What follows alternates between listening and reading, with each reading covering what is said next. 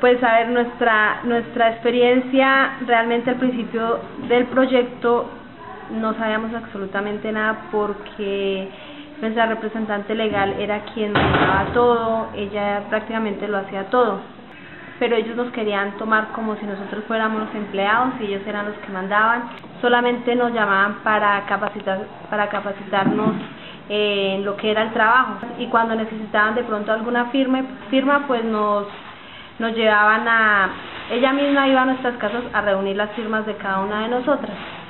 Después ya llegó, eh, estuvo el programa Vamos Bien, estuvo Carolina y Paola Paz y ellos pues realmente fueron quienes nos abrieron los ojos, nos dijeron, no es que el comité de seguimiento esto y esto es lo que tiene que hacer, ustedes tienen que estar pendientes de todo, eh, de todas las cosas que hace la asociación, de la contabilidad, de todo. O sea, ustedes tienen que intervenir, que ver en qué se están gastando los recursos y si se están gastando en lo que realmente es o, no.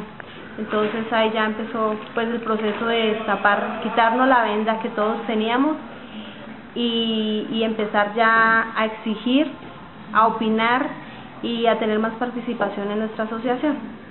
Antes eh, eh, no, no, había un proceso de registro y no, había, no se llevaba muy bien la parte contable. O sea, la parte contable eh, prácticamente pensábamos que no era tan importante. Ya en estos momentos sabemos que tenemos que tener un contador, que es un asesor contable.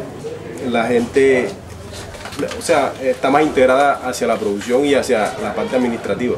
Para mí funciona mejor la organización, se ve un proceso donde los socios eh, miran cómo se, cómo se realiza, eh, cómo se desarrolla el, programa en sí. Ha sido todo un reto porque si de pronto en el inicio tuvimos algunos inconvenientes, todo eso nos ha servido para crecer como personas, como institución.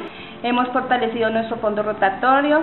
Eh, con el comité vamos bien, hemos aprendido de que las cosas pues hay que aprovechar las oportunidades, nos hemos fortalecido como artesanos, como personas, somos muy reconocidos aquí en Boyacá, en todo, mejor dicho, hasta en el extranjero. Y hemos tenido mucha oportunidad de ir a ferias, a conocer más personas, más asociaciones y definitivamente el que no quiera pertenecer es porque no entiende, no ve la, los logros que se obtienen.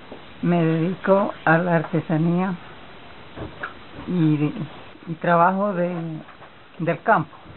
Enseguida aprendí a hacer el arte de, de canasto. Y eh, con eso pues ahí fue donde pude ir aportando para mis compañeros. En las escuelas radiofónicas a mí me nombraron como auxiliar de que yo podía enseñarle a, una, a las personas que no supieran leer ni escribir. Como por la radio daban las clases, nos daban las cartillas y yo solamente era a dirigirlos en, en la casa al pie de un receptor que se llamaba radio y teníamos que presentar tareas y yo como era el auxiliar les daba orden a mis alumnos que eran tres personas y les, les enseñé a leer y escribir. Ellos aprendieron muy bien. A partir de las escuelas radiofónicas se hicieron unos institutos para formar líderes de que venían de muy lejos